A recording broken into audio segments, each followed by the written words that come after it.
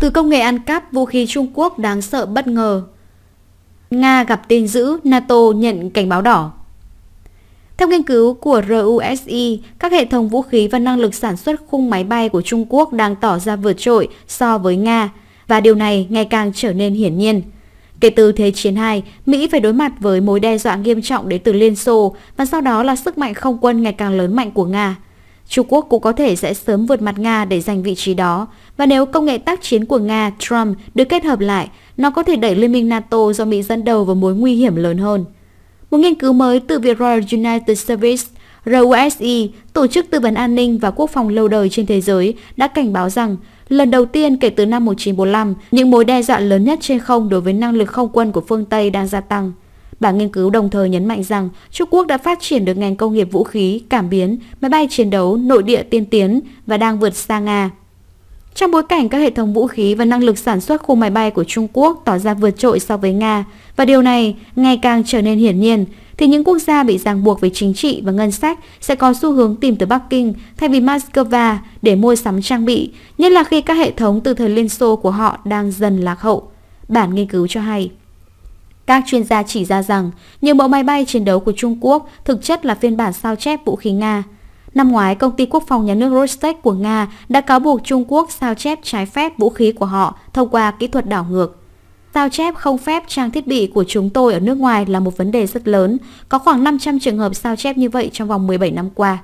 Ông Jeff Kenny Livadny, người đứng đầu các dự án sở hữu trí tuệ của Rostec cho hay, Riêng Trung Quốc đã sao chép động cơ máy bay, các mẫu chiến đấu cơ Sukhoi, tên kích hạm, hệ thống phòng không, tên lửa phòng không vác vai và cho ra đời bản sao của hệ thống pháo, tên lửa, đất đối không tầm trung Panzer.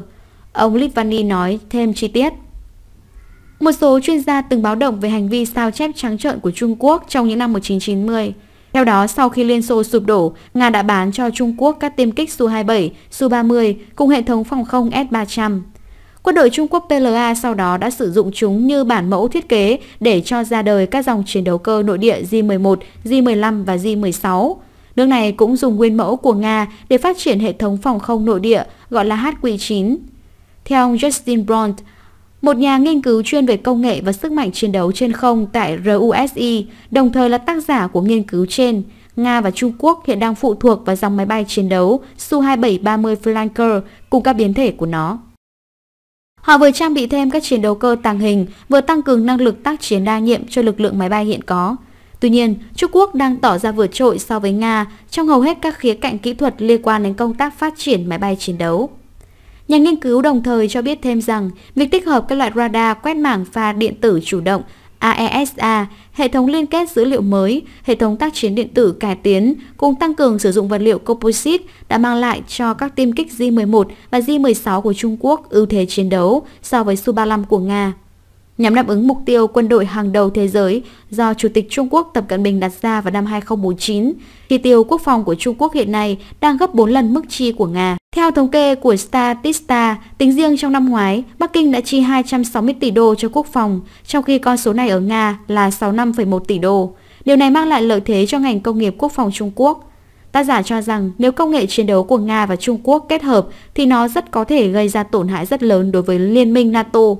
Trong khi đó, cây viết Sebastian Droblin của tạp chí Forbes lại cho rằng quân đội Trung Quốc chưa thể vượt trội quân đội Nga do lực lượng của Moscow nắm giữ nhiều kinh nghiệm chiến đấu hơn thông qua các chiến dịch Syria. Bên cạnh đó, Trung Quốc cũng chưa có được các mẫu máy bay tương tự như tiêm kích đánh chặn MiG-31 hay máy bay ném bom siêu âm Tu-160 và Tu-22M.